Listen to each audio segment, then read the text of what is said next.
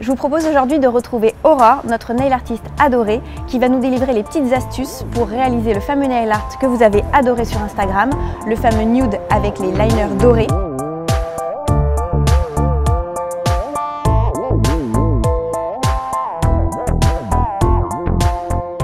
Alors Aurore, quelles vont être tes astuces pour réaliser ce nail art que j'adore? Donc déjà, euh, après avoir appliqué la base, je vais appliquer les deux couches de couleur. Mhm. Là, on va être la première couche et ensuite on passera à la deuxième couche. Pour plus d'opacité. Ouais, voilà. Bon alors, tu as appliqué deux couches de vernis. Maintenant, comment tu vas procéder pour appliquer tes fameuses paillettes sur l'annulaire?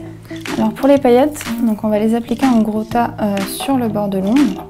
Ensuite, on va venir essorer bien son pinceau et étirer euh, le gros tas qu'on a fait. Après les paillettes, quelle va être ton astuce pour réaliser ces traits qui sont juste parfaits? Alors, on va utiliser donc ceci.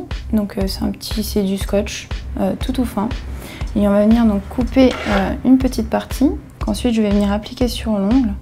Donc l'idéal c'est de pas trop dépasser sur les côtés de l'ongle pour éviter que ça se décolle entre temps.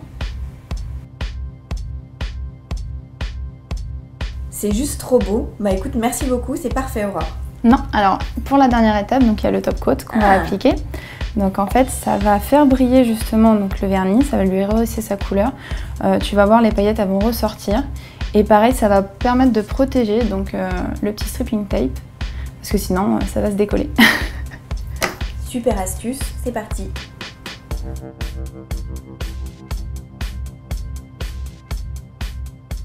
Et voilà, ça y est, le nail art est terminé.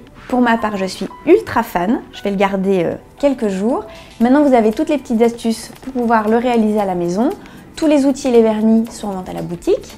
Et puis, si vous avez la flemme ou deux mains gauches comme moi, Aurore est là tous les samedis à la boutique pour vous faire ce nail art ou encore plein d'autres selon vos idées. Bon bah rendez-vous tous les samedis, samedi prochain par exemple, et puis je vous dis à très bientôt